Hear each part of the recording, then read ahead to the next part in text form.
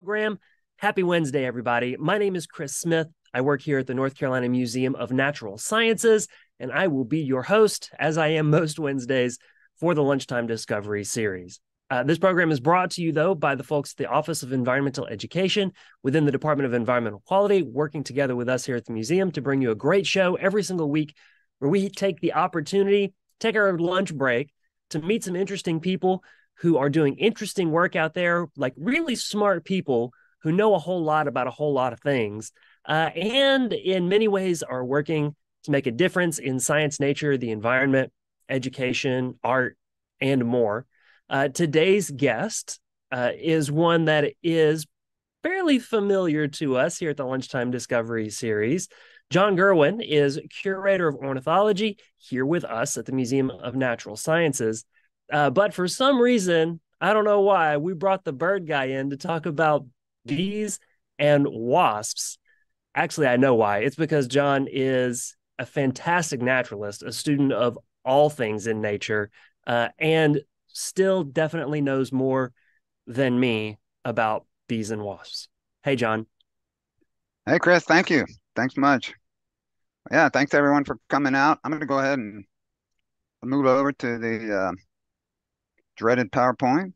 Um, get started. the dreaded PowerPoint. Okay. there Listen, we go. I think it's going to have some of your pictures of uh of insects and more in it. So I think this is going to be a good one.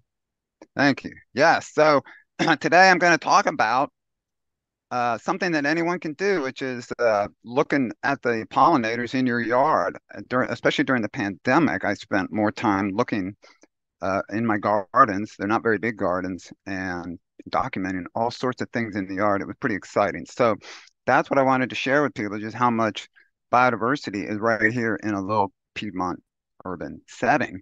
Along those lines, I'm also going to have, I have a colleague of mine speaking at the end. It's Gabriela, and she'll be talking about a new project that you can participate in. It's going to, it's, it's a combination of scientists as well as citizen scientists doing a bee atlas, and she'll explain what that is and how you can be involved at the end.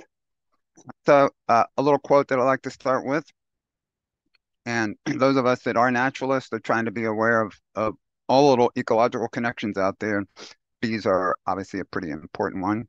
Here's a series of bees, and um, actually there's a couple of them in there that are not bees. And so I will also show you some images of things that, that look like bee or wasp, but are not.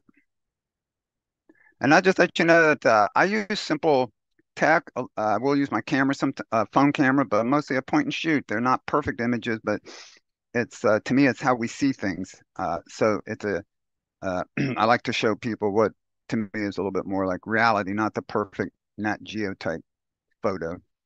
And at the end, I can show you some websites, a few links to resources that I use, some books that I've used, a list of plants. If you've got your phone handy, you can photograph the screen.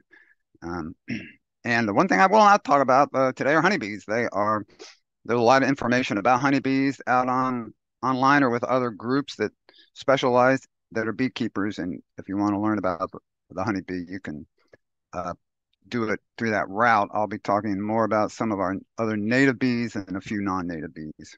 Um, in my yard. So this is what one of my little garden plots looks like. Uh, it's not very big right there. It's um, it's about 15 feet by eight feet wide out in the front yard next to my neighbor's driveway. But you can see I can pack in a lot of plants in a small space. Uh, in the backyard, there's another little patch on the left side in the corner. Um, and then, then that's actually a, a close up of that corner. So again, that's about 10 by 10 and it's not a big area but you can pack in a lot of plants into these small areas and the pollinators will find it most of my stuff in the yard are native plants but there's some non-natives and they provide nectar and pollen and here up the street are a couple of places where my neighbors just grow some plants right along the sidewalk so when i'm walking the dog i always carry my camera and i check out the pollinators that are on these different plants lantana is a good one cosmos they're attractive to different pollinators and they do provide some um, some nectar and pollen. Uh, a quick look at where the the bees and wasps fall out in terms of our uh, family tree. You can see they're more recently uh, derived or evolved group. So the red circle is the Hymenoptera. You can see they they seem to you know show up about the Permian uh, in a geological sense. There's about you know over 150,000 species, and of course the females are the are the fertile ones. They they're the caste system in Hymenoptera. So there's drones, workers, the queen.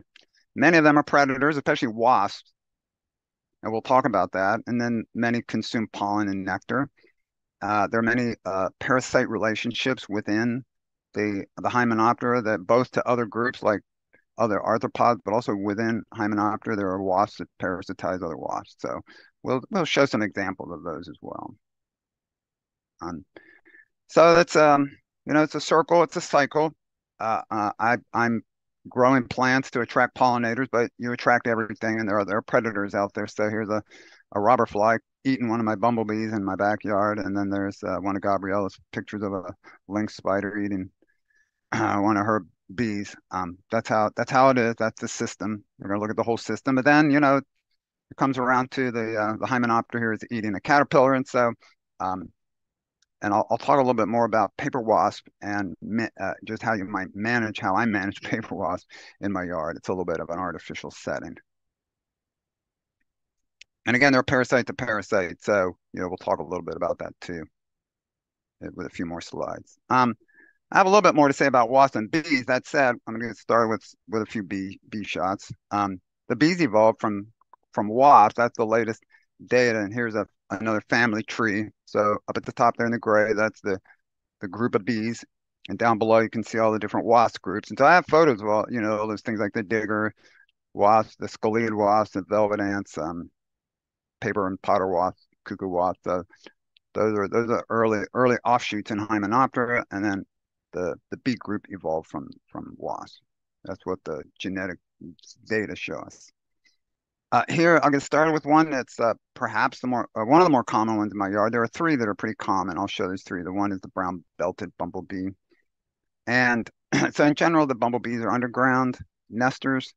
They're usually in burrows. My belt, my bump, brown belted bumblebees uh, will use my nest box, or even in uh, one year they used my shed. But um, the adults are consuming nectar pollen. There's about uh, over 20,000 species worldwide. We have close to 500 species of bees in North Carolina.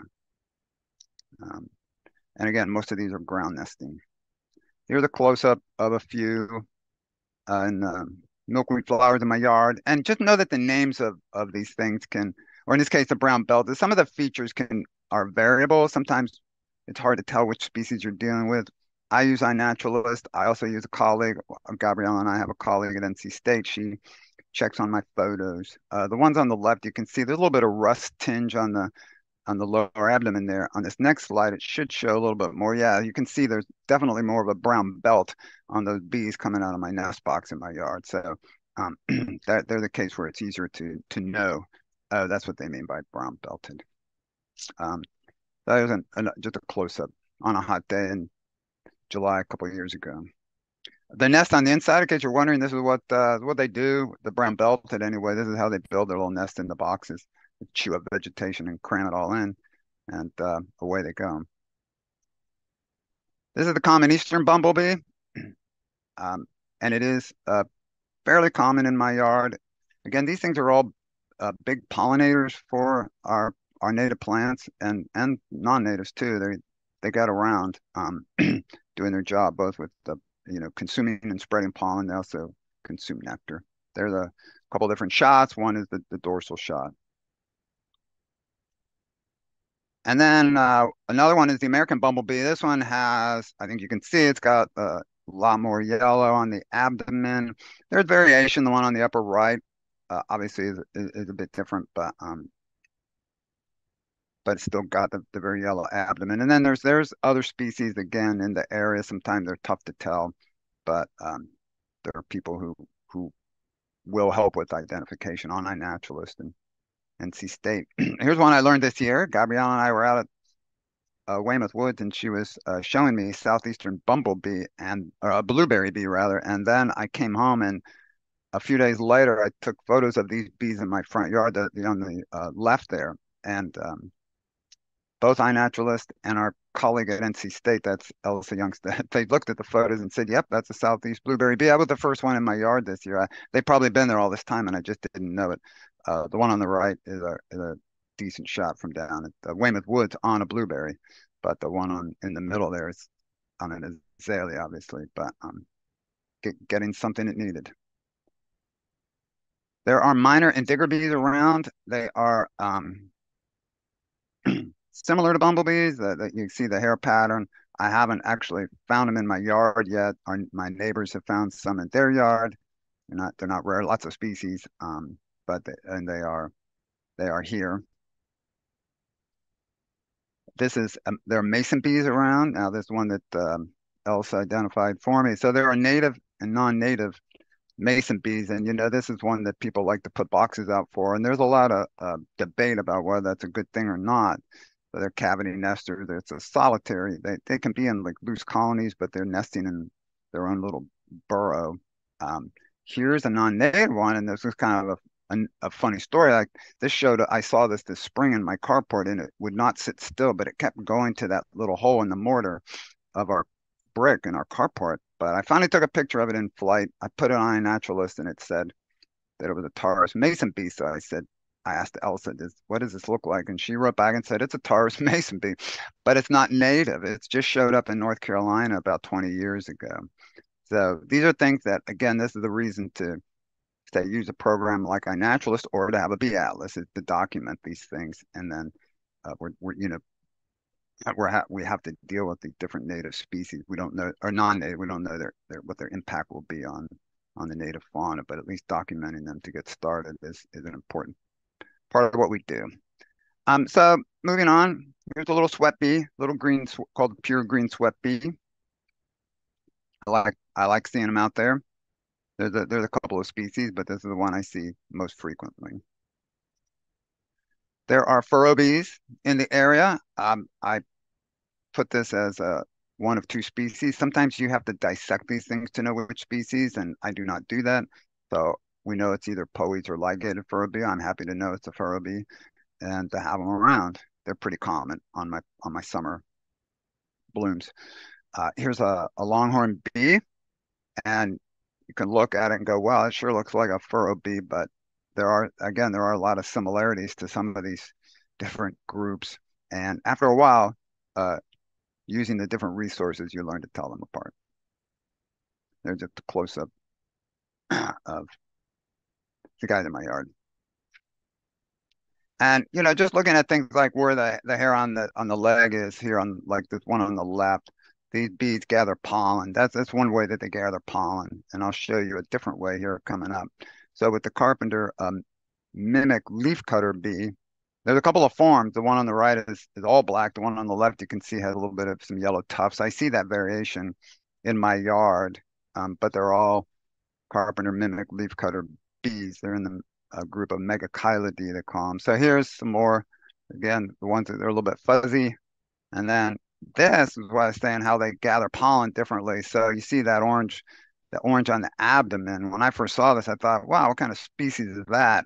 I did not realize until I did some digging and looking and reading that that's how these bees store their pollen, not on their legs, but under their abdomen. There's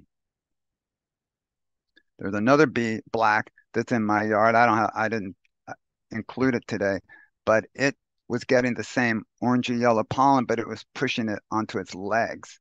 And so that made it a, a different group. It put it in the longhorn bee group. And that's just a different leaf cutter bee, just to show you the different shape and, a, and different stripes on it. You might notice that a lot of these plants are a mint. Uh, it's a mountain mint, and it's quite the attractor for pollinators. That's, I mean, it's just amazing uh, what that plant does to these bees and wasps and other groups that are I see beetles out there and flies. All these things are going after this mint. so the carpenter bee, that's a, that's that's you know it's a lot of hate. Um, many people know the carpenter bee. It's a larger bee, and it's a carpenter. It's it's a carpenter because it is well known for digging holes in our wood structures. We have our maybe a wooden porch, uh, the wood siding on your house. You might have a bench out in the yard, and these guys burrow hole, the female uses those holes. That's where she lays an egg and uh, raises the has the larva bee inside. Uh, easy to tell by the real shiny abdomen here. You can see the one on the right captures that.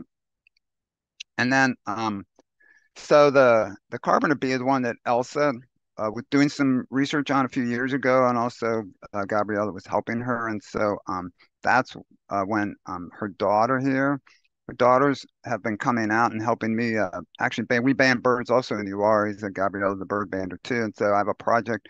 UARE during the pandemic, we had her daughters out helping a lot, but her older one got really interested in the carpenter bees, and she learned uh, a lot about them, and she also learned early on that you can tell the male and the female apart. And so I'll show you how how that looks in a second. Um, so here's a female, it's a black face. And then when you look at a male, it's got this yellow patch right up front. And uh, the fun thing was that um, what Eliana, her daughter, learned to do was um, you can you can pick these up because the males do not sting. It's only the females that sting. And so she thought that was really neat to be able to pick up the bee, but also to show people. So unsuspecting visitors would come to the banding station or be out in the field with them, and she would invite them along and say, "Hey, would you like to see a carpenter bee?" And uh, then go to pick one up, and of course, everybody thought she was going to get stung, and and uh, she would slyly explain that now she was kind of the bee whisperer, and she could she could handle bees and pick them up, and because these people didn't know that the male didn't sting, and it was very comical. We had that uh, a few times at the banding station. And I have to say, it still it took me over a year to get comfortable with picking up a, a male carpenter bee, even though I saw her do it a dozen times. Um, but I finally did. I did. I, I you know I did ask one uh, once, and I and here's a carpenter bee getting pollen. Two different carpenter bees getting pollen. I said, so what about these bees that get yellow pollen? Can you confuse them? And sheepishly she said, "Yeah, there's a couple times where I did get stung, thinking that a female was a male because of the of the pollen, but mostly it's worked out, and it's it's a, a fun thing for her to do." And then part of the study that they were doing was uh, the cycle, the, sort of the cycle of life with the carpenter bee, and that has to do with the tiger bee fly. So it's another, to me, this looks like one of your bees or wasps that are out there, but, but this is the fly, and it parasitizes the larvae of the carpenter bees. Some other bees in the in the yard are these charcoal bee flies, and in this case, these species parasitize the larvae of mason bees. So they're laying their eggs on the larvae of their preferred bee host, and then the fly egg hatches, and it eats its way to adulthood by feeding on the larva of the bee. And then here are a couple more, to me, what are bee-like mimics. The two on the right, they're both uh, they are the um, do I have the name? Yeah, the clearwing snowberry. All right.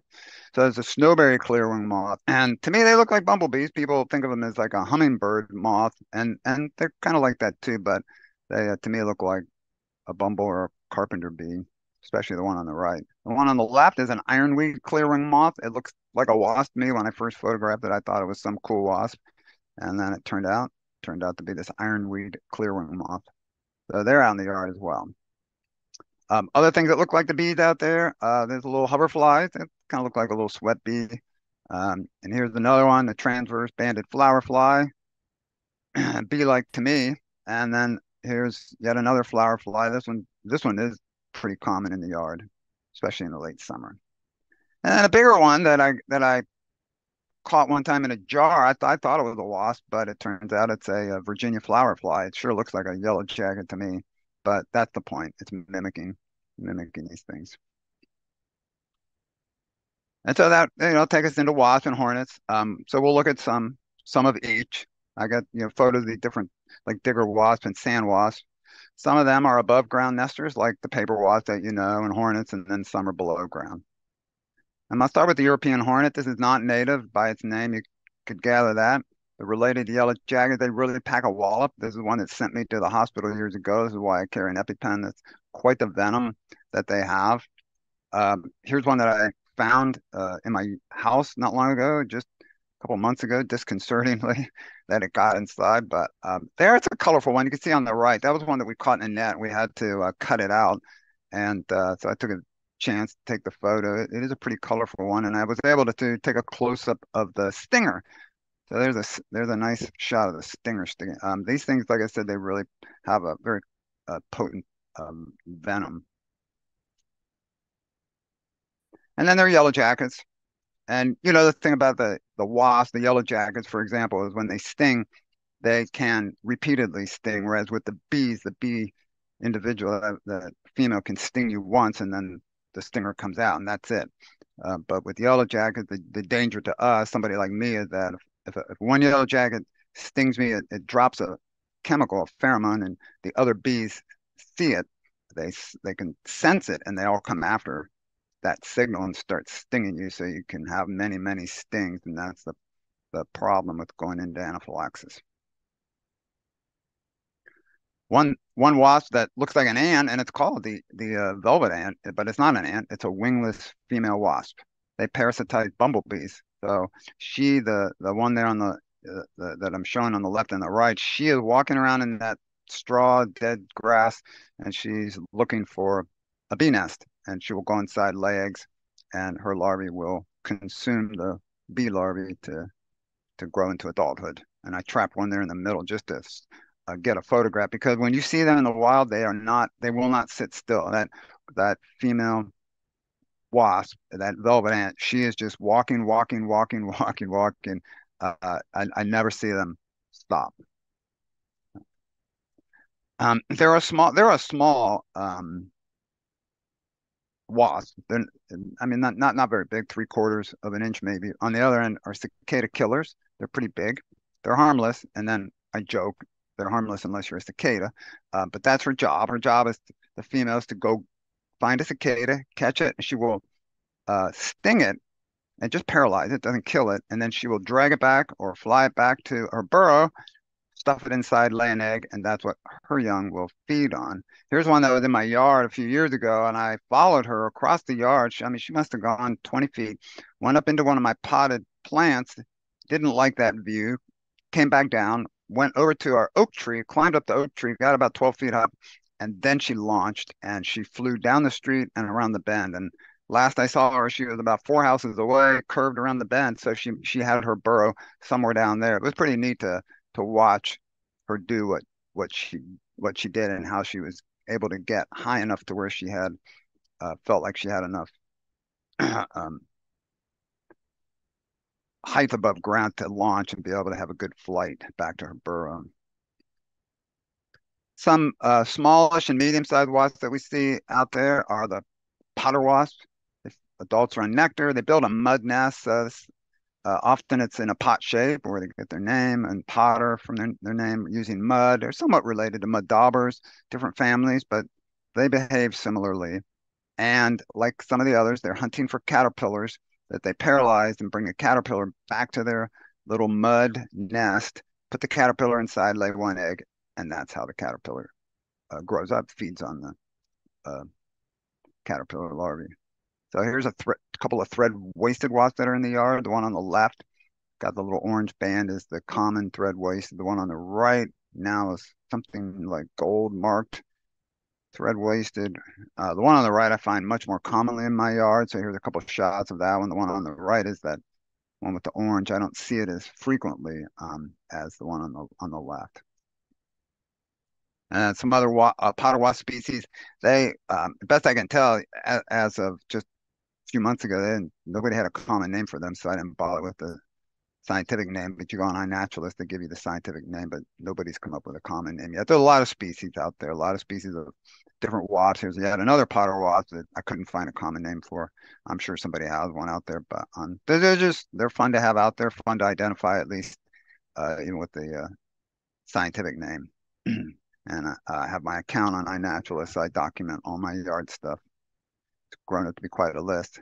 This one, I do know what it is. It has a common name, the yellow-legged mud dauber wasp, and this is the only one I've seen. And I got a little excited when I saw it at the end of our street. It was, we have a little creek under the street, and it, uh, there she flew in and was getting mud to build her nest. And I knew I didn't have much time, so I grabbed the camera and I was kind of shaking. So it's not quite in focus, but it was really exciting to see it. My first one. It's the only one I've seen. And uh, then she took off, and I could not follow her. I'm sure she was building her nest on, you know, on the side of somebody's house. But it's a beautiful, beautiful little wasp. Um, and then there are these things called cuckoo wasps, and some of them are pretty, pretty dramatic looking. That one on the upper left. Um, our colleague uh, Missy McGaw just retired from the Wildlife Resources Commission, and she's a photographer, so we borrowed some of her photos here. Um, the cuckoo wasp they're a parasite of a parasite. Essentially, they are laying their eggs on the larvae of the thread-waisted wasp, and you may recall the thread-waisted wasp is laying its eggs on the larvae of a moth or a caterpillar, and so you know you've got like a double paralysis, par- paralyzing and parasitizing going on.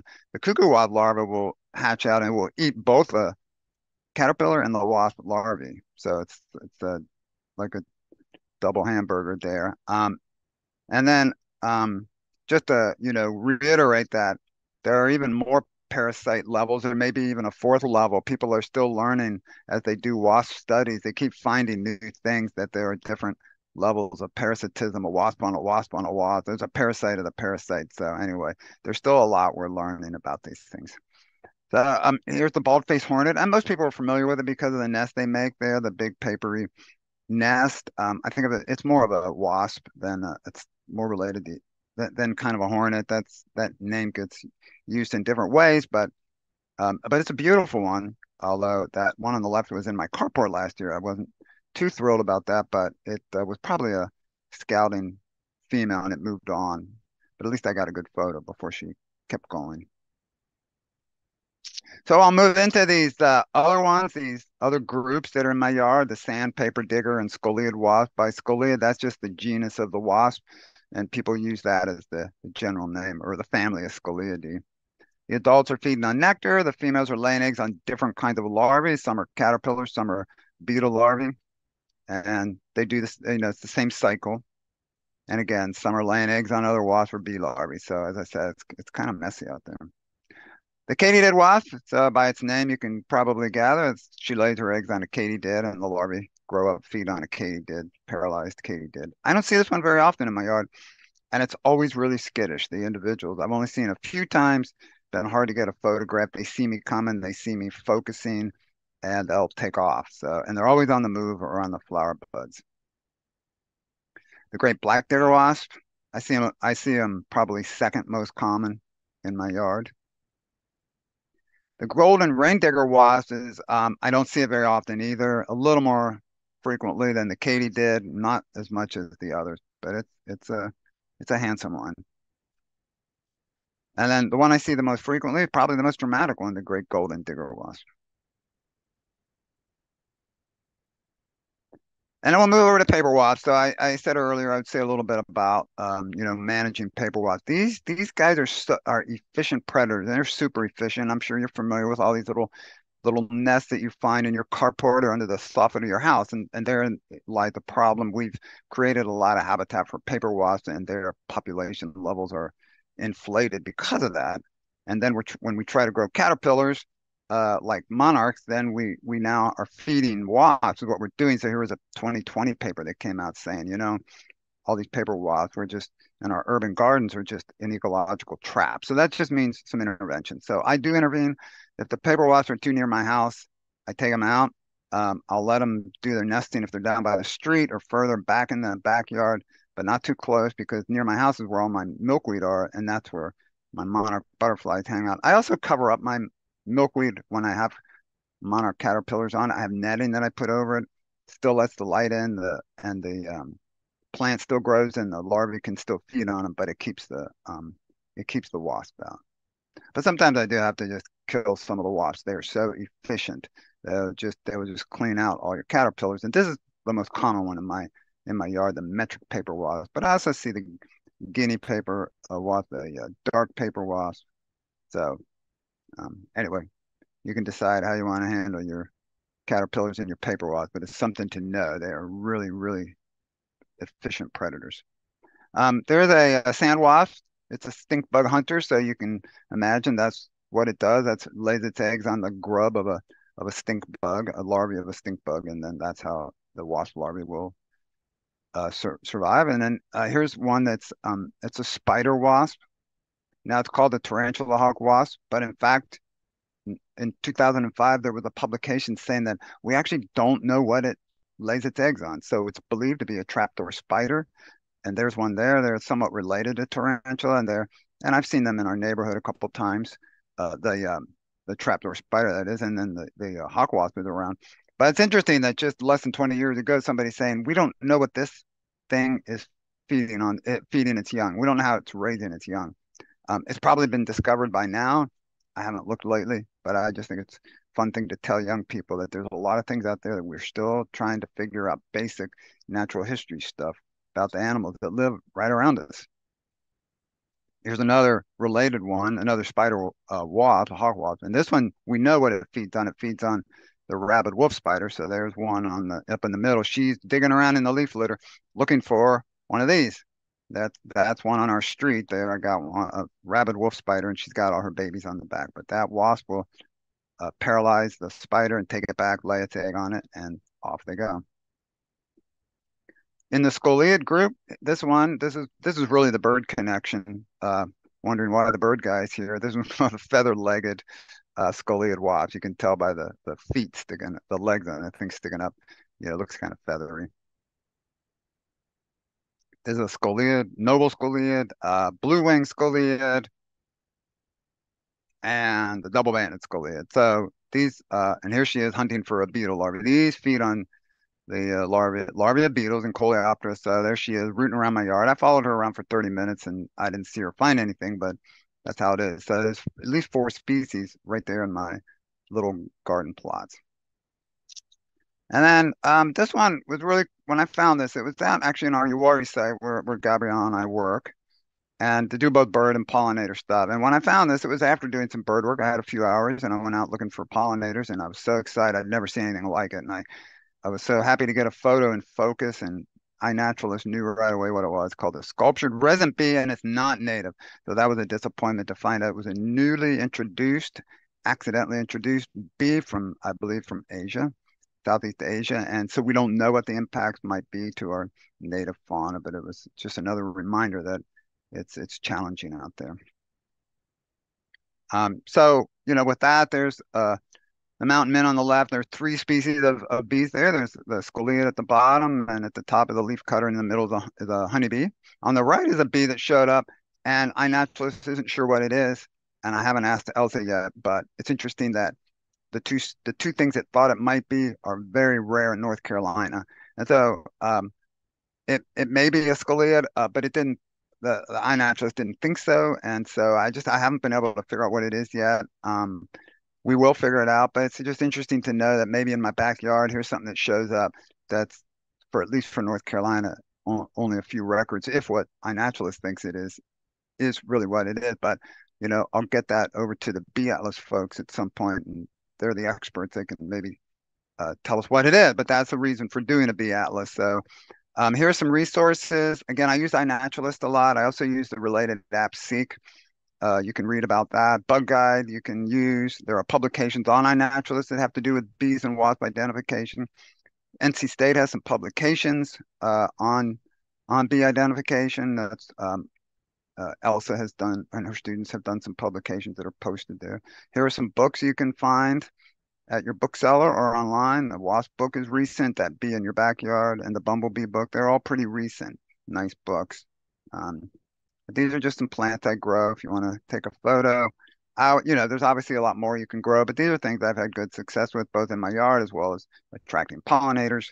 And then I, I like some shrubs because they produce uh, flowers as well. and they're also often they're food for some of the butterflies I'm interested in. And of course, the wasp might be interested in some of the larvae. So it's a whole big cycle. Um, here in Wake County, we use Field Cottage Nursery a lot. The Botanical Garden has native plants. Audubon has a nice website. You can search it by zip code and match up uh, plants they have a list of some nurseries around the state. I know people are from all over. You just have to look locally. A lot of nurseries now are selling native plants. Um, Prairie Ridge, uh, that's part of the Museum of Natural Sciences, and we have programs on pollinators, native plants, and we have a native plant garden you can visit. So uh, this is our study site on the left in the Uwharries where Gabrielle and I work. On the right at Prairie Ridge, and so that's I'm gonna use that as a way to uh, say we're going to switch over to Gabrielle. And um, so that's her photograph. And um, we will have some time for some questions at the end, but we're going to let her talk first before we get to um, those questions. So let me back out and stop sharing. There we go. There we go. Thanks so much, John. All right. And I will turn it over. There's Gabriela coming up.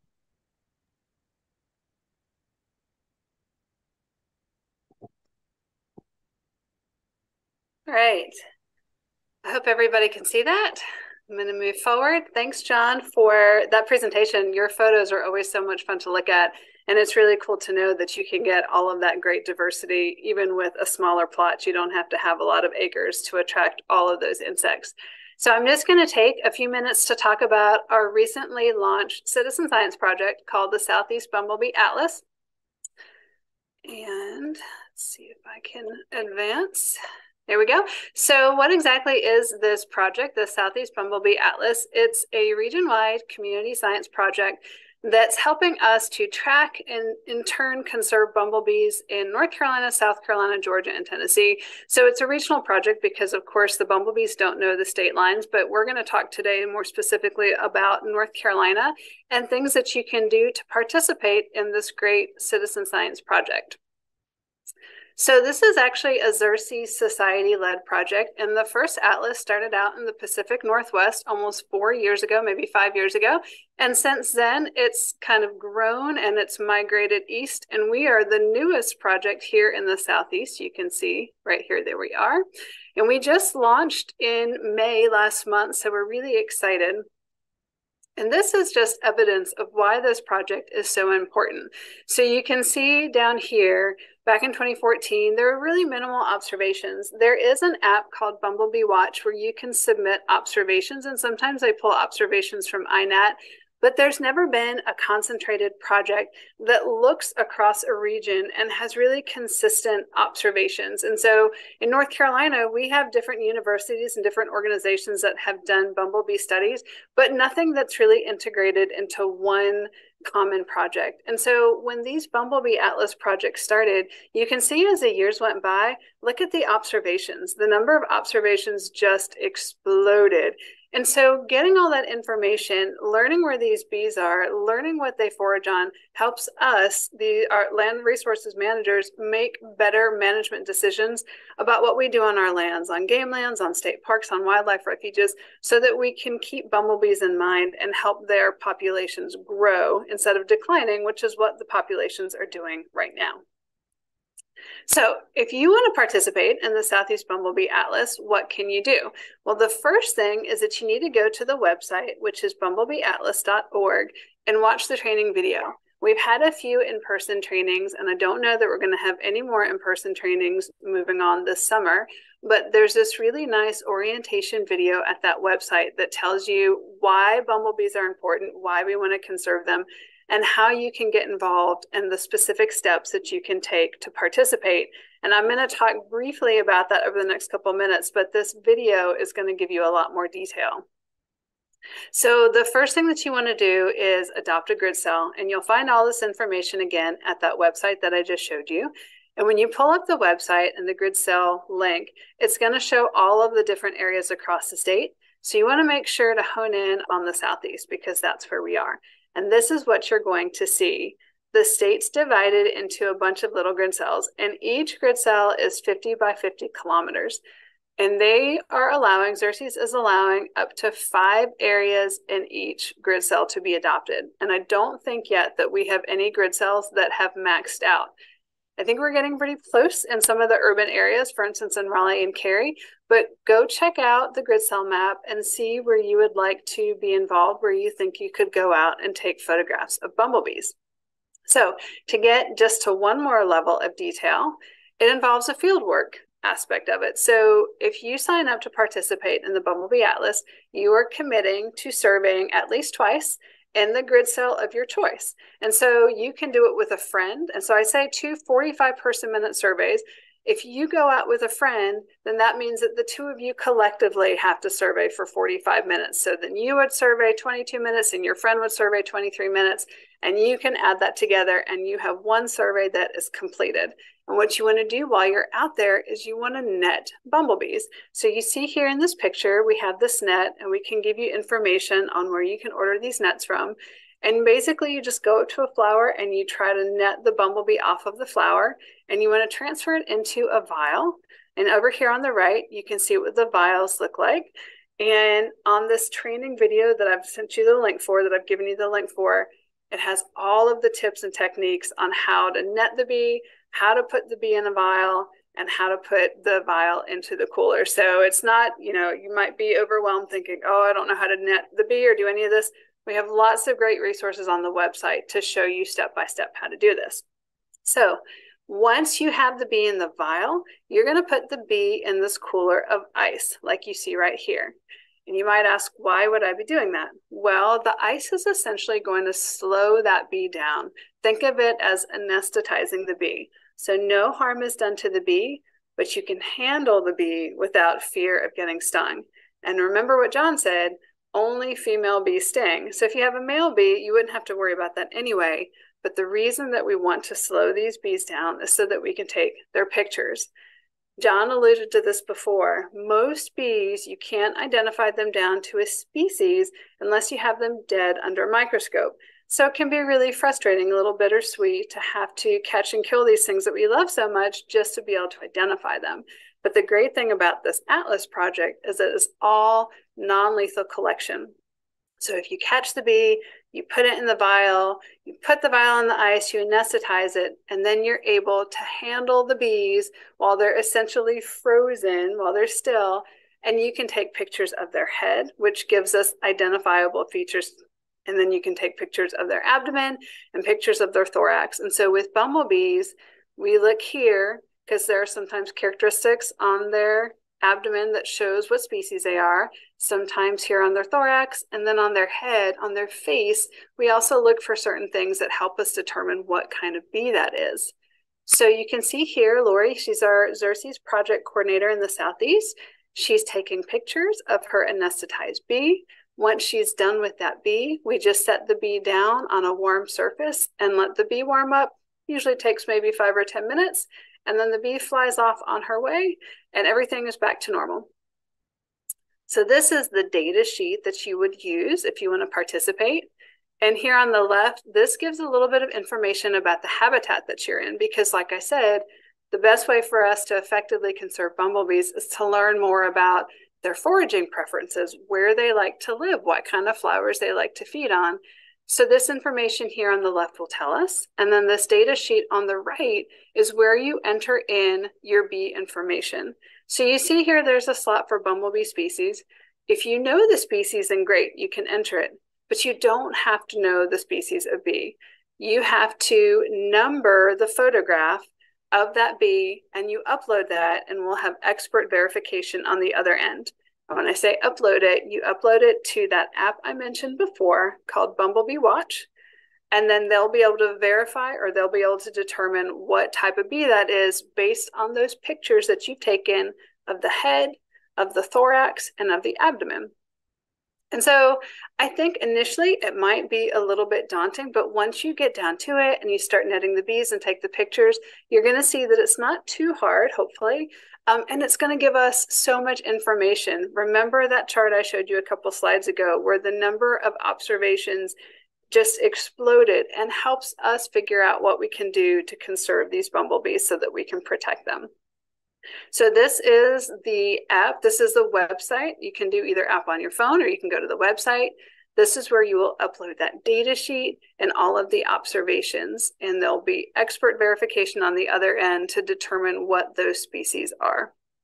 So in a nutshell, that is the atlas this is my contact information because if you have questions, I am more than happy to help you. I'm happy to give you tips or assistance or troubleshoot anything that you might um, not understand. But again, we'd love to have your participation. It's so important to have folks out on the ground helping us look for these bumblebees and helping us figure out what we can do to conserve them because we do know that populations are declining.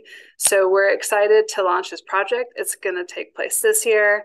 2024 and 2025, and we're hoping just to get a lot of data. And I will say we've already gotten a lot of participation in the Piedmont, but we have less participation in the mountains and the coastal plain of North Carolina. So I really encourage you to check out the website and think a little bit more about participating. And please reach out to me if you have any questions because I'd love to chat with you about it. And that's all I got. Fantastic stuff. Thank you, Gabriela. I'm uh that's a cool project. I hadn't heard about that yet. And that's really exciting, especially to see the explosion in observations that you showed us. That's cool because data is cool. Having data uh, is meaningful. Uh, but also, more observations means more people getting outside and enjoying and experiencing nature, kind of like John shared with us, like the beauty and joy of getting out there and seeing and photographing and getting to know really the incredible diversity of wildlife that we have in our state and our region. So that's cool stuff. Viewers, let me remind you if you've got questions for John and Gabriela, drop them in the chat. I'm going to be coming to you in just a moment for questions that you may have about the bees and wasps of North Carolina and what's going on to protect them.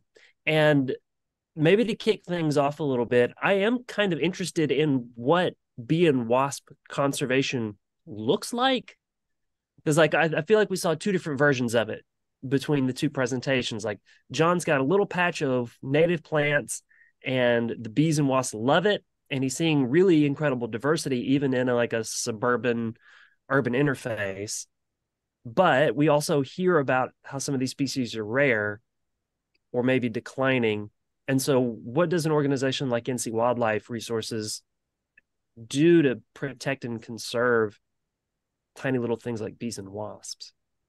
So I think when you're thinking about bees and wasps, the most important thing to consider is habitat.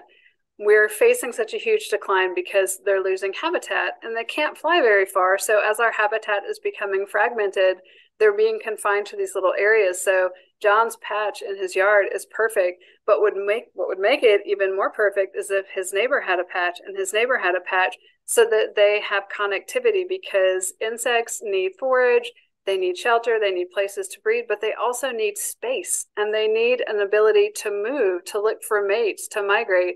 So it's really important creating habitat. So when we work with landowners, that's what it's all about. What can you do to get this appropriate type of habitat on the ground? All of these native plants, like John has, the appropriate breeding habitat. So for bees and wasps, that's leaving bare ground because if you have lawn, they can't work they can't chew through the lawn they need bare ground they need soil that they can dig through so it's all about having the right characteristics to support them so that they'll want to come to your backyard to your property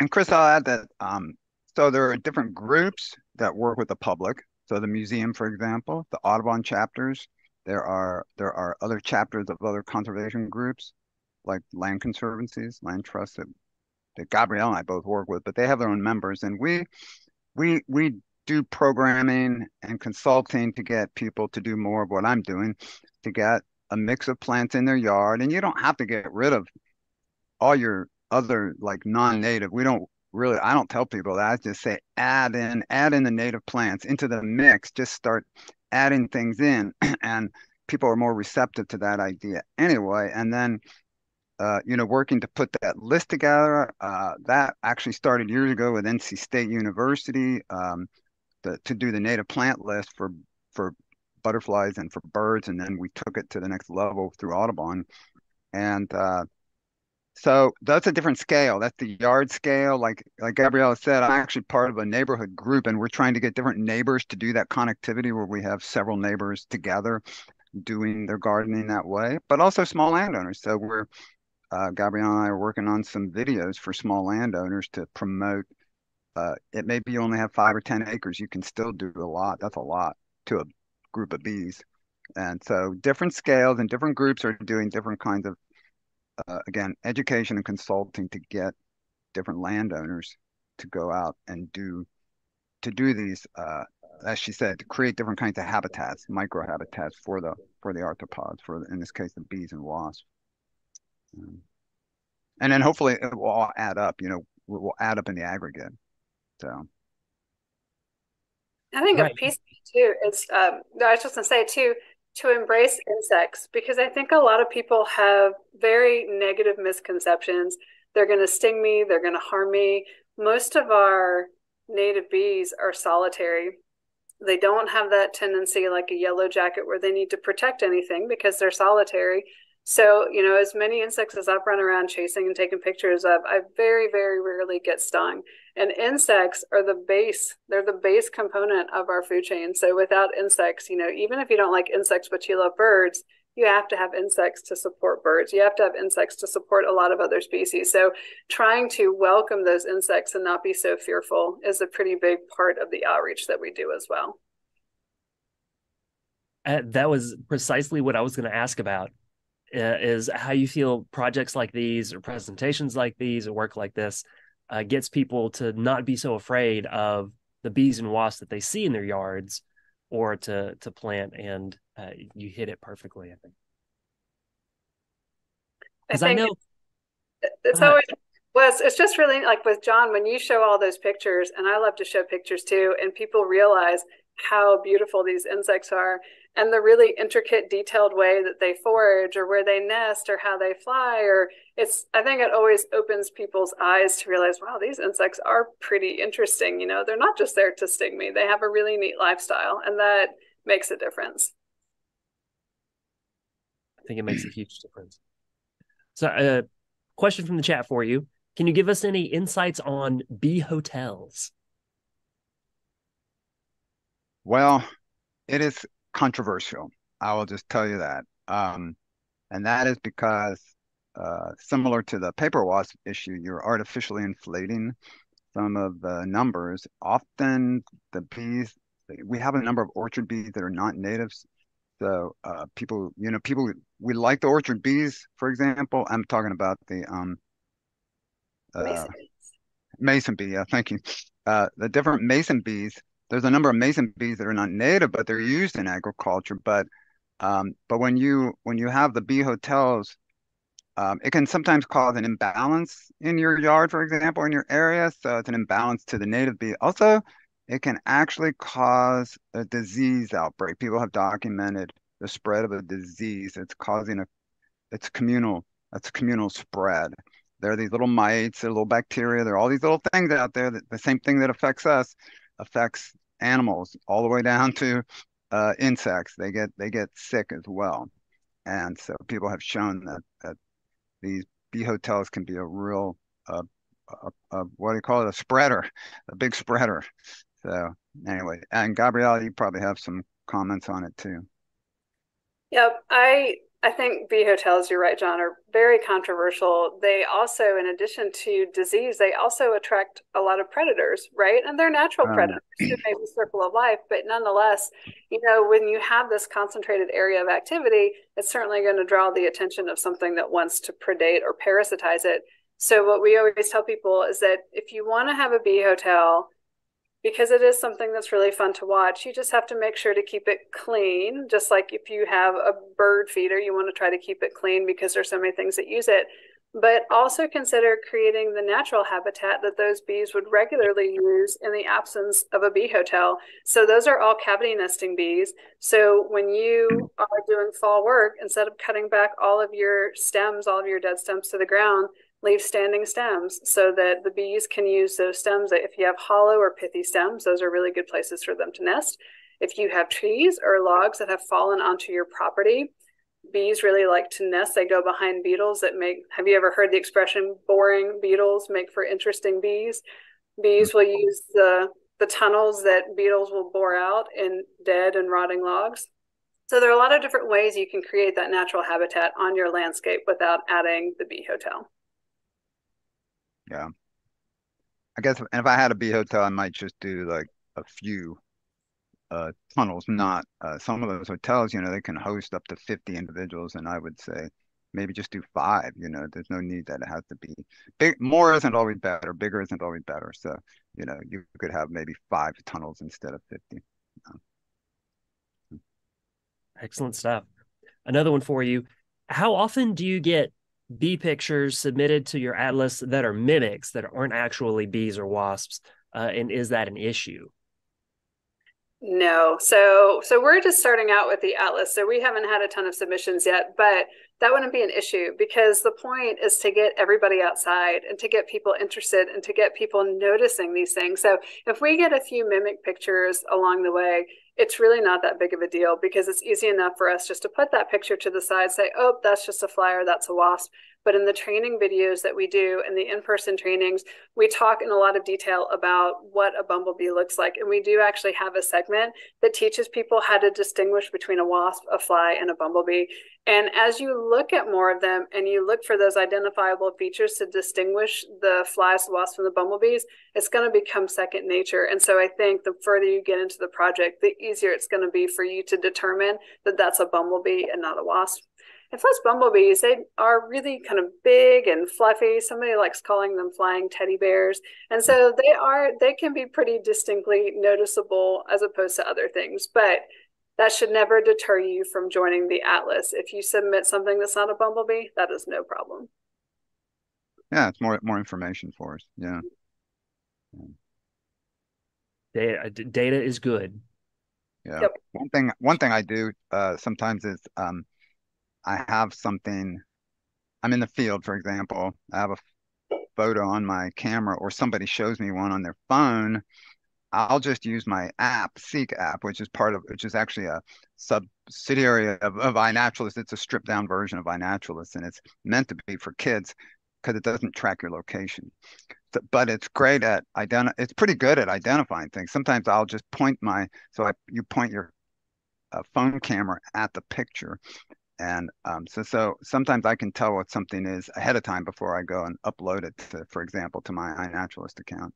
If I'm really wanting to know what something is right away, I just just do it right there, right? You know, I'm, I'm pointing at somebody else's camera screen, right. but it's but the resolution's right. good enough that for the app to actually tell me what it is. So yeah, you can even do you could do that if you were doing Bee Atlas stuff. You could you know look ahead of time using Seek or iNaturalist. Interesting stuff. Uh, someone else in the chat wanted to know if they could get access to this your slideshow, John, because I think they want to. I don't know. Maybe they'll print it off and just take it out in the field. It's fine with me. Yeah. I would say, yeah. I mean, I, I, I'm, I'm fine with people using it. I'm not trying to make money off taking photos, and um, I don't even put my name on, on, you know, most of those. I put my, I put name on, you know, like Gabrielle or Missy, but um, uh, I'm fine. I think the best thing to do. I'm at the, you know, I'm at the Museum of Natural Sciences, so you can find my email on the on the museum's uh, website or if you want to type it in. And just email me.